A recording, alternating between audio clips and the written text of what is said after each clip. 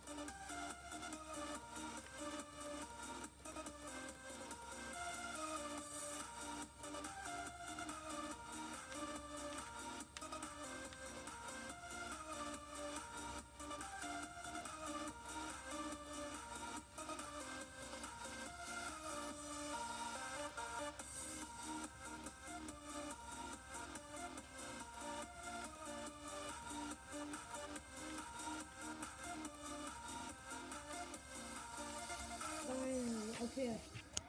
So we just completed back on track. And bye.